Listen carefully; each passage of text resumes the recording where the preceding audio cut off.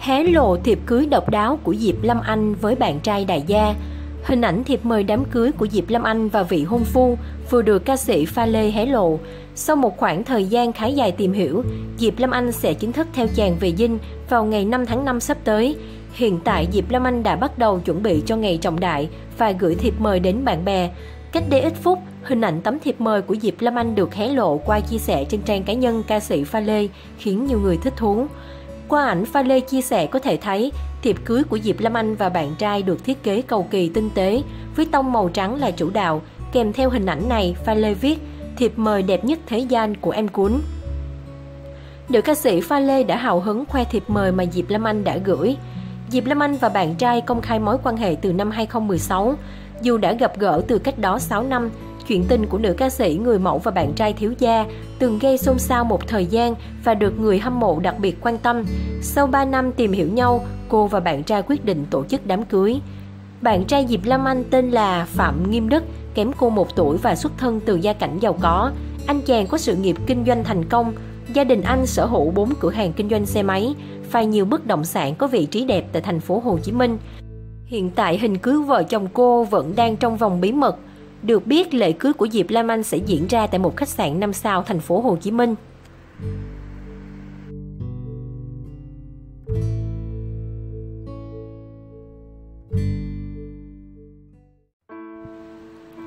Nhã Phương thiệt thòi thế nào khi yêu Trường Giang?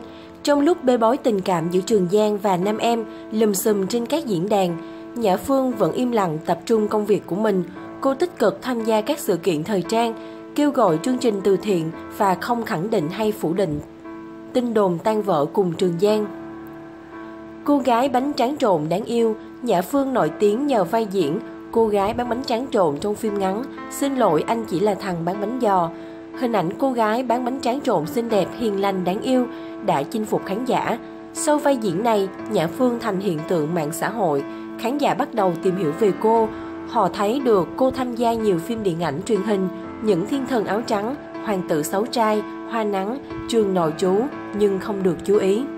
Từ sự nổi bật nhờ phim ngắn, nữ diễn viên sinh năm 1990 đến từ Đắk Lắk tiếp tục được chú ý với vai theo đanh đá lanh lợi trong phim Vừa đi vừa khóc.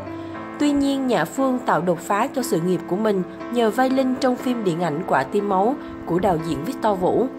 Cô được khen ngợi cho diễn xuất của mình cũng như có cơ hội góp mặt ở các phim điện ảnh, truyền hình lớn như Tuổi Thanh Xuân, 49 ngày, Yêu đi đừng sợ.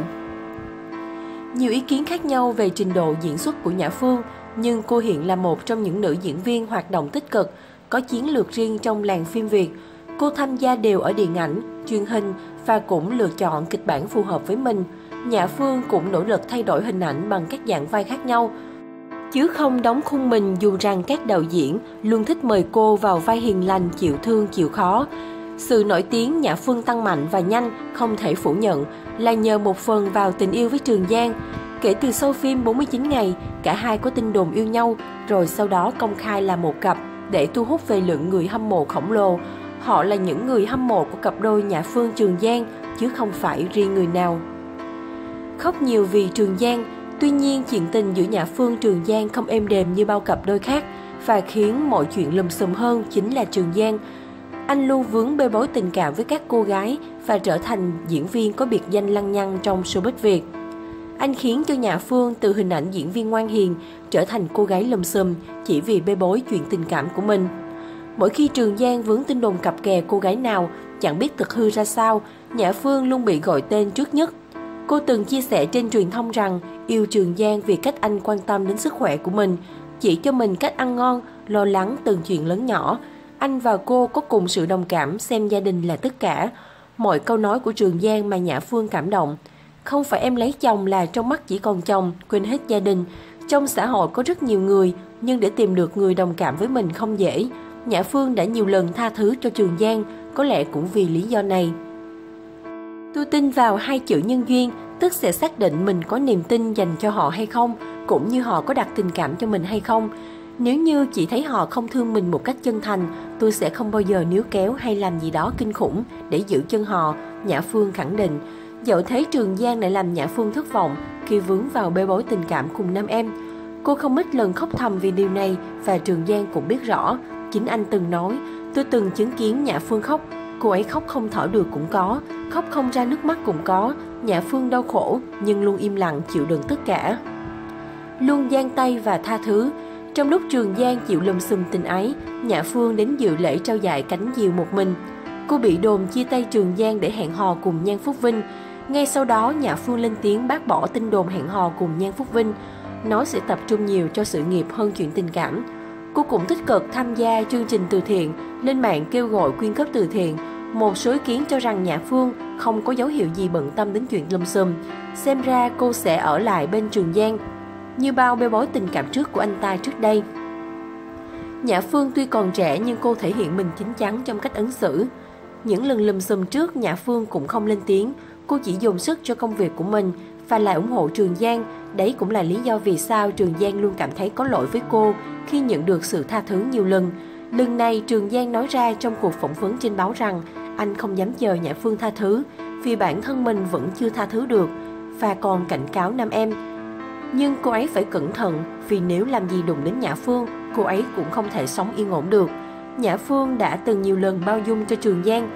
Liệu lần này cô có tiếp tục tha thứ nữa hay không?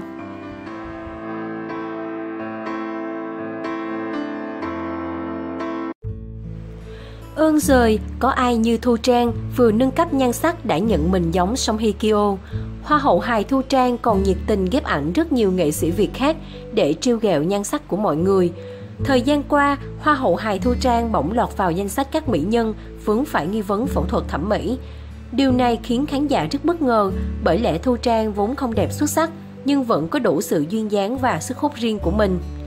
Gương mặt khác lạ của Thu Trang sau chuyến đi Hàn Quốc mà mọi người cho rằng cô sang đó để nâng cấp nhan sắc. Cách đây ít ngày, nữ diễn viên cũng đã lên tiếng thừa nhận chuyện mình sang nước ngoài để làm đẹp. Theo đó, cô bộc bạch, Trang quyết định nhận lời sang Hàn Quốc để tiêm mỡ tự thân lên mặt, kết hợp nâng cơ mí mắt để gương mặt trông đầy đặn có thần sắc và trẻ trung hơn. Trang là người khá nhát nên không dám giao kéo như mọi người nghĩ đâu, chỉ sử dụng kim chỉ thôi. Mới đây trên trang cá nhân, Thu Trang đã rất hài hước khi ghép ảnh mình với nữ diễn viên cực xinh đẹp Song Hye Kyo để nói đến nhan sắc của mình sau khi sử dụng các thủ thuật làm đẹp. Hình ảnh trước và sau khi đi hàng của chế nha, mọi người nhìn kỹ đi, không khác mấy, vẫn đường nét cũ của chế cả nhà thấy sao, Thu Trang lầy lội chia sẻ. Chưa dừng lại, cô còn ghép cả ảnh ông xã với một nam diễn viên hàng cực điển trai. Đặc biệt, cô còn chẳng ngại lấy mái tóc của Tiến luật ra để dìm hàng. Chồng tôi chỉ có ý định cấy tóc, vậy mà ông bác sĩ nỡ nào sửa chồng tôi thành ra vậy. Chồng tôi nhát lắm, cấy tóc mà xin cho gây mê. Đang mê ngủ tướng xấu quá, ông bác sĩ nhìn ngứa mắt nên sẵn tiện xử luôn. Chán thiệt, từ nay tôi phải đối diện với anh chồng bên phải màn hình hả trời. Thu Trang hài hước. Có ai chịu nổi màn trêu đùa khi dìm ông xã không thương tiếc thế này của Thu Trang? Tiến luật Kiều Minh Tuấn, Phương Trinh Jolie, Diệu Nhi cũng cảm thấy lắc đầu, không nói thành lời trước hành động của Thu Trang. Đại nghĩa Ngô Kiến Huy, Trung quân Idol cũng là nhân vật được Thu Trang ghép ảnh với những gương mặt nổi tiếng của xứ Hàn.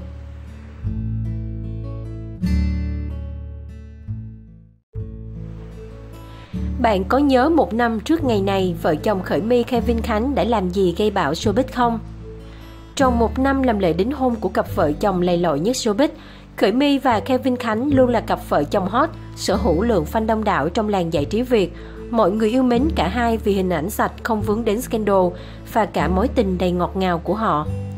Ngày 25 tháng 4 2017, lễ đính hôn của Khởi My Kevin Khánh đã diễn ra và nhận được rất nhiều lời chúc phúc từ gia đình, bạn bè, đồng nghiệp và fan hâm mộ.